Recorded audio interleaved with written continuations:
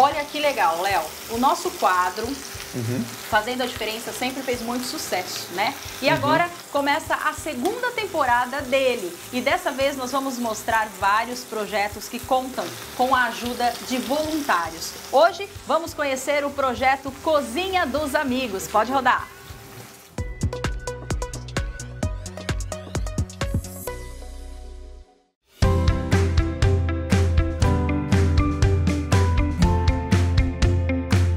Oi Mira, oi pessoal de casa. Hoje eu vim até o Educandário Espírita daqui de Rio Preto conhecer um projeto muito bacana que distribui marmitas para famílias em situação de vulnerabilidade.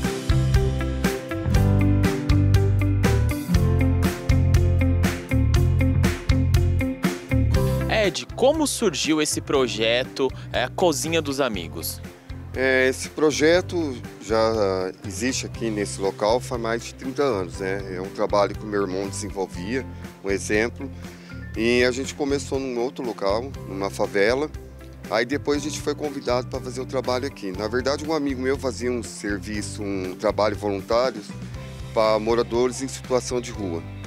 Aí a gente sentiu, começou a crescer de 15, 30, 50 marmitex até que chegou uma proporção grande, a gente precisava de um espaço maior e éramos em cinco amigos e aí surgiu a oportunidade de fazer aqui nessa cozinha. Que hora vocês começam a trabalhar para conseguir entregar a marmita aí na hora do almoço para o pessoal? Olha, é, esse trabalho começa durante a semana, desde a arrecadação, né? Na sexta, na véspera, a gente já lava os legumes, já prepara e no sábado, sete e meia da manhã, já estamos aqui.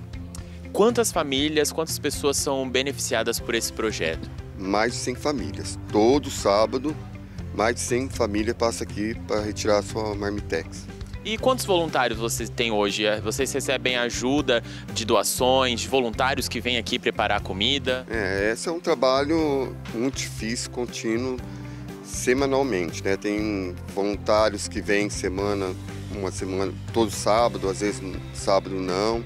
A gente depende muito de, da ajuda das pessoas, né? Porque hoje, como cresceu, a gente serve mais de 130 marmitas por sábado, então depende da disponibilidade, do amor, da fraternidade de cada um. E eu acredito que vocês fazem um bem danado para a população aqui em volta. Qual que é o retorno que vocês têm disso?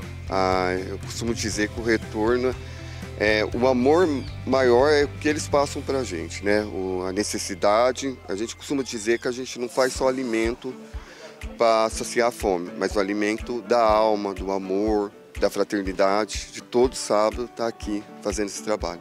Nós vamos deixar todos os dados aqui embaixo para quem quiser ajudar, contato, telefone, endereço. E se você puder ajudar e a contribuir com esse projeto, será muito bem-vindo, né, Ed? Muito, muito bem-vindo muito bem aceito mesmo, que a gente precisa muito, porque todo sábado é uma luta para poder é, fornecer essas marmitex. Queria agradecer você, Ed, parabenizar pelo projeto, que você consiga mais doações e consiga atender várias famílias. Obrigado. Obrigado.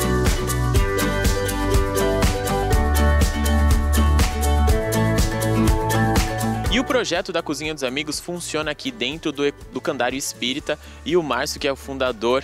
Márcio, a, o Educandário não tem só esse projeto, tem várias outras iniciativas, né?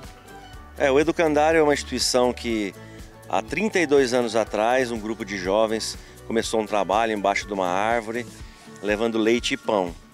E ela foi crescendo com as bênçãos de Deus e hoje, nesses 32 anos, nós temos biblioteca, videoteca, temos uma orquestra jovem de crianças que é, fez muito sucesso durante muito tempo, que as crianças cresceram.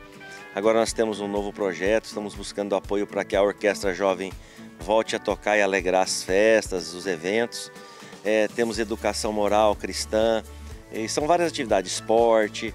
É uma instituição que abriga é, mais de 120 crianças e todos os seus familiares e atende essa região aqui de São José do Rio Preto, do João Paulo II. Né?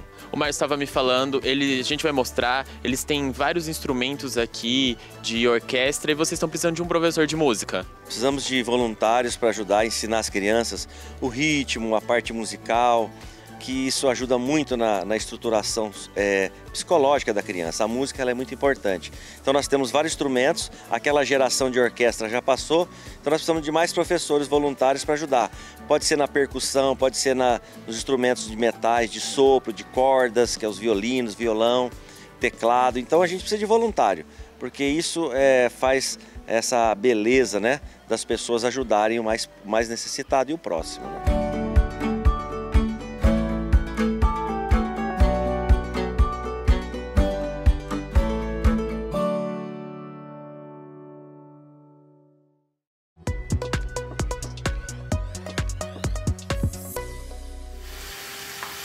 Meus parabéns para todos do projeto. E agora, todas as segundas-feiras, você vai acompanhar um projeto diferente, é, o trabalho do voluntariado, que é importantíssimo, né? Faz bem para quem recebe e bem também para quem está lá trabalhando, né?